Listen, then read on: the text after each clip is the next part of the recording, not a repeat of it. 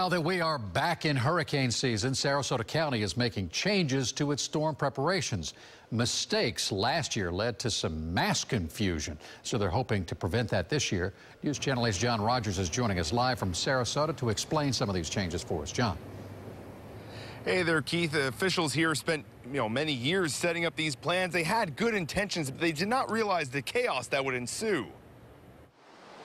As Hurricane Irma approached, many panicked and rushed to Riverview High School. It was listed as a possible shelter, but as we found, there were no plans to open it. Um, and they're angry that this shelter is not open. There's no administrators here. There's no law enforcement here. These people have been waiting here for a long time. We knew our procedures. We knew our capability, but we didn't know how the public responded to that. So the next time a storm approaches, Sarasota County officials will open all shelters at once, and they'll all be pet friendly.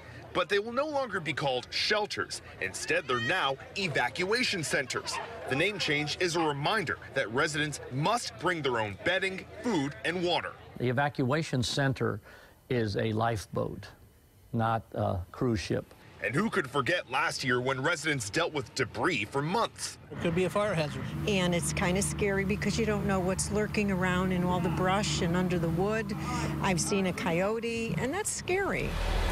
The county will hire more contractors and rent more trucks, but there's only so much they can do. If we get another Irma track this year and it does the same thing, we may be in the same boat.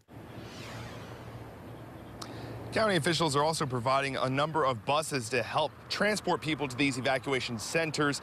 And if folks do not have a vehicle, they can register ahead of time to get transportation from their home. We'll have information on our website. Keith? I like that name change. EVAC centers. It's just more clear. Thank you, John. And